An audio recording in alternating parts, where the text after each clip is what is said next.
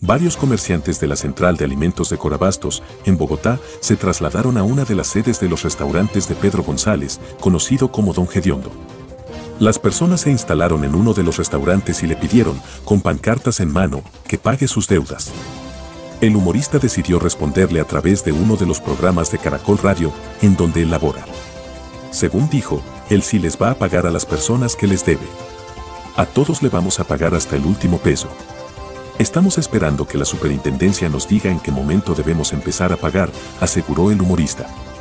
En enero de 2020, la Superintendencia de Sociedades admitió en proceso de reorganización empresarial a la sociedad Don Gediondo Sopitas y Parrilla SAS, después que su socio fundador Pedro González admitiera que tiene grandes inconvenientes para continuar funcionando. El famoso humorista Pedro González, quien con su personaje Don Gediondo logró crear una cadena de restaurantes, afirmó entonces que su modelo de negocio se ha visto amenazado por varios factores, entre ellos, el rápido crecimiento que tuvo la cadena y los costos de funcionamiento.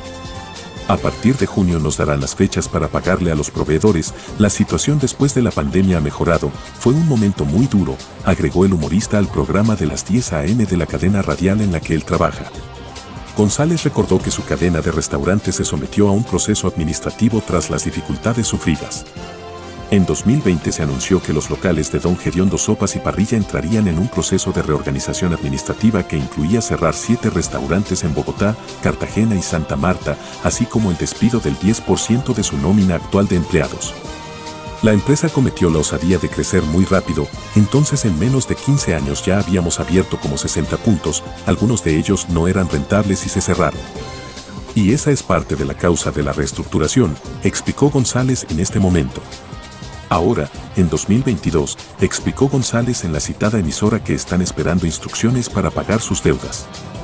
Según dijo, él tiene 35 restaurantes actualmente y uno más en Miami, Estados Unidos.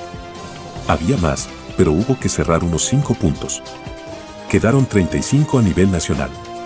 No son trabajadores, son comerciantes que trabajan con uno de nuestros proveedores.